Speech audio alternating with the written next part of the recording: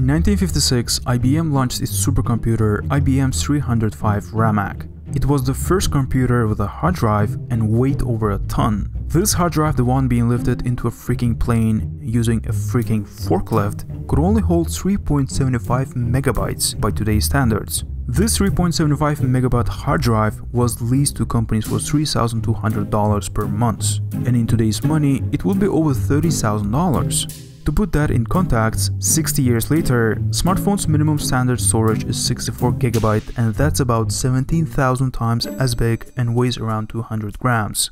It took 51 years before hard disk drives reached the size of 1 terabyte, and this happened in 2007. And in 2009, the first hard drive with 2 terabytes of storage arrived. So while it took 51 years to reach the first terabyte, it took just 2 years to reach the second. Fast forward 10 years, in 2019, the largest commercially available HDD can store at least 15 terabytes of data. The world of SSD offers even more space of at least 100 terabytes. The reason why electronics have increasingly become much smaller, more powerful and cheaper is because of the observation called the Moore's Law. Mobile apps, video games, spreadsheets, electronics, and accurate weather forecasts, that's just a sampling of the life-changing things made possible by the reliable exponential growth in the power of the computer chips over the past five decades. The continual cramming of more silicon transistors onto chips known as Moore's Law has been the feedstock of exuberant innovation in computing. In 1965, co-founder of Intel, Gordon Moore, postulated that the number of transistors that can be packed into a given unit of space will double every two years. So Moore's law is not a physical or natural law, but a rather a surprisingly accurate prediction. It's Gordon Moore's perception that transistors were shrinking so fast that every year twice as many could fit onto a chip, though the cost of computers and electronics are halved. Moore's law states that we can expect the speed and capability of our computers to increase every couple of years and we will pay less for them. Another tenet of Moore's law asserts that this growth is exponential. This law has been a rule of thumb and sort of Grand Prix competition tournament for electronic companies for 60 years now. Those tiny shrinking transistors are the reason why you are watching this video from your mobile phone or computer that is thousands of times stronger than a processor that sent humans to the moon. Transistors are one of the biggest reasons why the whole technology has been advanced at an exponential rate. What are those transistors anyway? Well, for example, your brain contains around 100 billion cells called neurons, the tiny switches that let you think, store memories, and remember things. Computers contain billions of miniature brain cells as well, and they are called transistors and they are made from silicon, a chemical element commonly found in sand. A transistor is really simple and really complex. Generally, a transistor can be used in two ways. It can work either as an amplifier or a switch. Today in electronics, transistors used as a switch. A tiny electric current flowing through one part of a transistor can make a much bigger current flow through another part of it. In other words, the small current switches on the larger one. This is essentially how all computer chips work. For example, a memory chip contains hundreds of millions or even billions of transistors. And for example, the newest iPhone 11 Pro has A13 Bionic chip, which is classified as a 7 nanometer node processor, and it contains 8.5 billion transistors inside, each of which can be switched on and off individually. In electronics, it's all about using electrons to control electricity. Well, an electron is a small negatively charged particle of the atom. The most advanced transistors work by controlling the movements of individual electrons, so you can imagine just how small they are. And when it works as an amplifier, it takes a tiny electric current at one end and produces a much bigger electric current at the other. In other words, it's kind of a current booster. That comes in really useful things like hearing aids, one of the first things people use transistors for. A hearing aid has a tiny microphone in it that picks sounds from the world around and turns them into fluctuating electric currents. These are fed into a transistor that boosts them and powers a tiny loudspeaker, so a person who has a hearing disability can hear a much louder version of the sounds around. A lot of people are not aware about how these little transistors are basically a single invention that changed the world upside down. More importantly, Moore's law has been a very critical part of this whole process.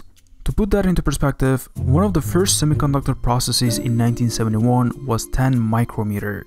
In 2001, it was 130 nanometer, or nearly 80 times smaller than it was in 1971. And in 2017, the smallest transistor process was 10 nanometer. Well, the diameter of a human hair is 10 micrometers, or nearly 10,000 times larger than how small transistors are today. You may have heard people speculating in 50 years, our technology will keep pushing at the same rate as it was from 1950 to 2019, and from now on, in 50 years, it will look completely different, as if Moore's law keeps static. But there is a physical limitation for a transistor as it's nearing to the size of an element. In 2015, Gordon Moore himself said Moore's law will die in the next decade or so.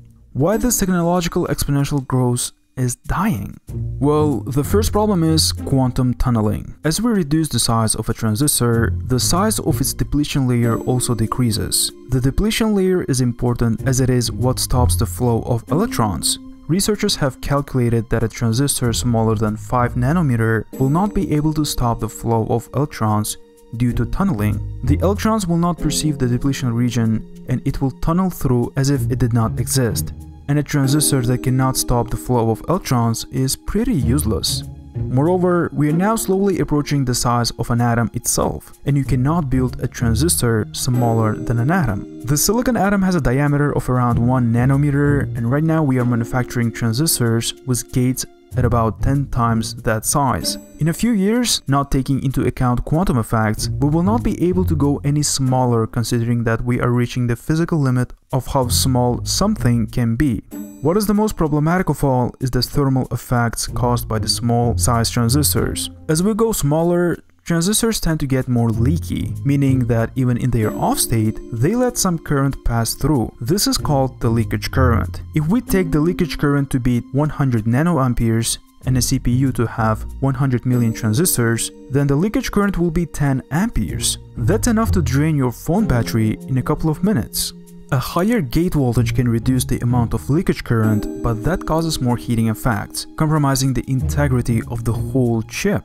Regardless, Moore's law is still alive, and right now the smallest process node is 7 nanometer from Taiwan Semiconductor Manufacturing Company. But Samsung has announced to start to work on process nodes all the way down to 3 nanometer. And just recently, TSMC is approved to build the world's first 3 nanometer plant. As transistors are getting to atomic sizes, we are in the twilight moment of Moore's law. It's inevitable that it will end though, but it can be stretched with better materials like gallium nitride and graphene that have been shown to have lesser losses at faster switching frequencies, but not for a long time. For the past 10 years, some companies have been declaring that Moore's law had already finished. There is a potential competitive advantage to disingenuously pronouncing the end of this law. For example, generate the smoke of Moore's law is dead and competitors may give up.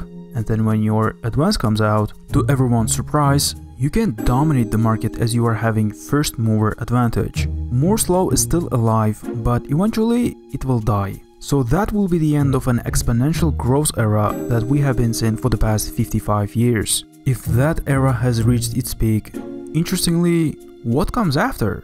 Today, we use computers to write documents, watch videos, play games, and do many things all on the same device using the same chip architecture. We are able to do this because the chips in our computers are designed to be a general purpose technology. That makes computers convenient and useful but is terribly inefficient for computationally intensive tasks. The perfect example of this is the GPU. GPUs have become popular for graphics and artificial intelligence, as it is built for a singular purpose.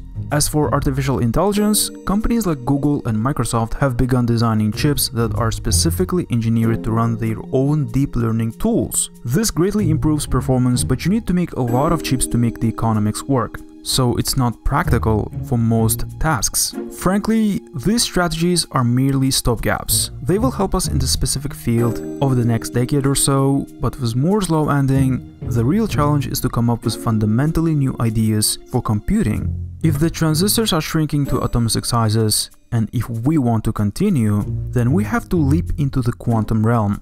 Quantum computers have the potential to be thousands if not millions of times more powerful than current technology. Both IBM and Google have built working prototypes and Intel, Microsoft and others have active development programs. Quantum computing is one option from several. The second major approach is neuromorphic computing or chips based on the design of the human brain. These excel at pattern recognition tasks that conventional chips have trouble with. Elon Musk's Neuralink company is doing something close to this as they are morphing 8mm computer chip into a 100 billion neuron containing human brain, so a person can control their smartphone and computer with their thoughts, and that's just a beginning. Yet both of these have their drawbacks. Quantum computers needs to be cooled down to close to absolute zero, which limits their use. Both require profoundly different logic than conventional computers. The transition from transistors to the next level will not be seamless. Whether it's a new configurations of machines, chips made out of entirely new materials, or new types of subatomic research that open up new ways of packing transistors onto chips, I personally believe that future of computing with all ingenuity it involves it will just be fine. Well, that's pretty much it. Thanks for watching. There are some videos the production right now, but my hardware is slowing me down a bit as it does not have enough transistors inside its processor as it should be. If you don't mind, please support channel on Patreon. It will help to increase the quality in the videos and I will be able to release videos more often. Please subscribe if you haven't and hit the like button if you liked the video.